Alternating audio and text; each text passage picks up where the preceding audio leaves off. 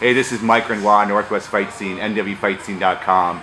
Uh, here with Ian Loveland, man, here at the Sports Lab in Portland, uh, the Barn Owl. Ian, how you doing today? I'm doing great. How are you doing? Real good, real good. Now, uh, you just uh, coming off a hard sparring session, uh, Tyson Nam uh, here at Sports Lab.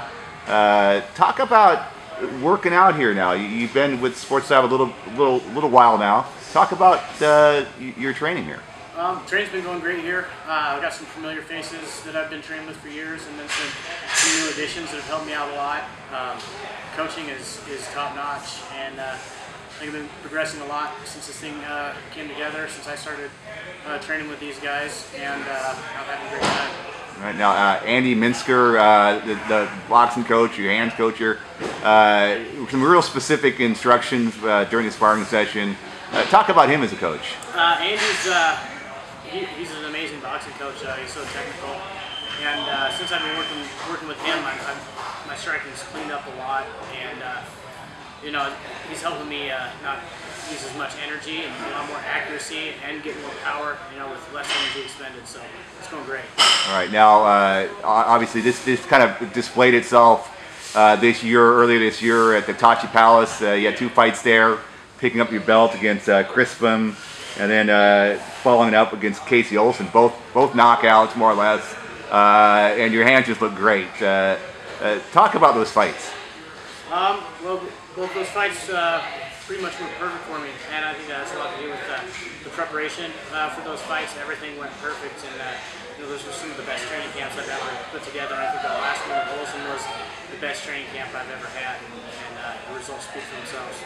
Right on. Now, uh, then th- this fight lined up, uh, 2012, uh, Vale Tudo. You have a fight coming up here December 24th in Japan. Uh, talk about how this fight came together. Uh, well, my manager just called me one day and said, hey, you want to go to Japan? And I was like, yeah.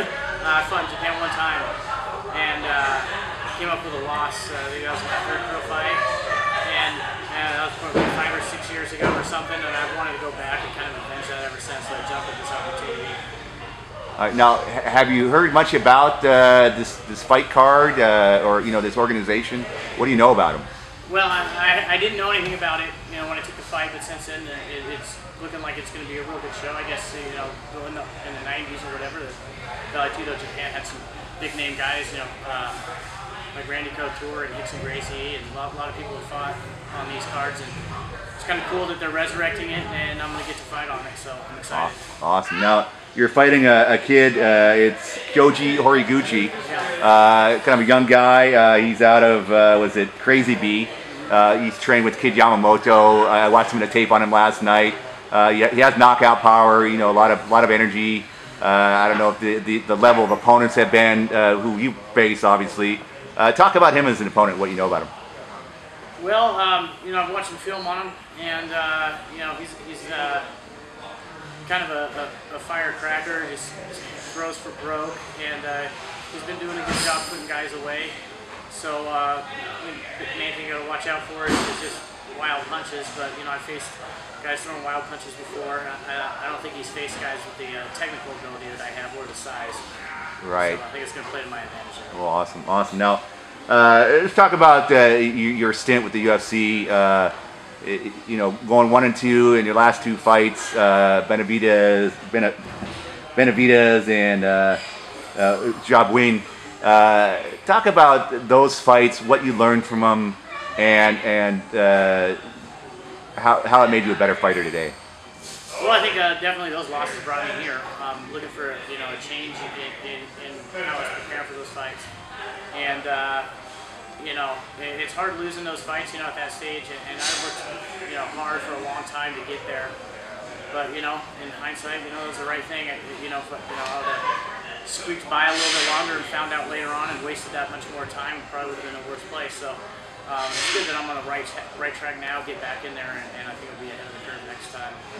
Right on. Now, uh, do you feel like you're a bit in exile when you get when you get cut from, from the UFC? I mean, how, what was that process like for you? I mean, you know, obviously disappointing, but You know, I don't think so. I, I mean, I think uh, you know, I'll be able to put them in a position where they need to take me back. I think you know, keep winning fights and uh, you know, being exciting, knocking guys out, and the fans are gonna want me back.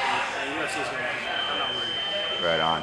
Now, uh, when I was watching the Tachi Palace fights uh, early this year, uh, I, I think uh, both fights, the the, uh, the the the announcers or the commentators kept on mentioning the the big tattoo on your back, and they said, "Look at that trout! Look at that trout!" And I'm like, "Hey, man, I'm from the Pacific Northwest. That ain't no trout. That's a steelhead." Yeah. Uh, and I know you're a big you're a big fishing guy. Uh, this kind of weather, where it's raining and crappy, people are going, "Oh my God!" You're probably going, "I want to get out in the rivers." Yeah, well, I, you know, my fishing career is kind of on the downward slide right now as, as my training is, is, is taken off and, and, you know, doing three three training sessions a day doesn't leave a whole lot of time to sneak out to the river. But, you know, I need to make that money now so I don't have to fish in the rain. When I'm retired, I'll be fishing in Mexico, I'll be fishing in Bahamas or whatever. Right on. You know, get back to it in the long run. Now, uh, in terms of uh, fishing steelhead, uh, do you prefer to uh, when you when you fish? Do you catch and release, or do you keep them?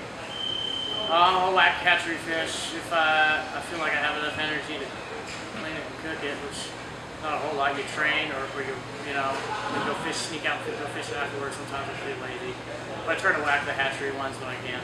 Right, right on, right on. Well, hey, I appreciate your time, Ian. Uh, we look forward to seeing you fight. Now, this fight, uh, is it going to be able to be seen in the states, or are we going to kind of have to wait for it to come online somewhere? I you know I don't know. Maybe hopefully. Hopefully. Uh, so, anyway, any sponsors and anyone else to thank for this fight? Yeah, I want to thank Sports Lab, um, all my training partners, and uh, my coaching staff, Phil Claude, Andy Minsker, Trevor Bennell. Uh, things are going real good for me right now, and uh, just owe it all to them. All right. Well, you heard it here. Uh, Ian Loveland, Sports Lab in Portland. Thank you, sir. Thank you.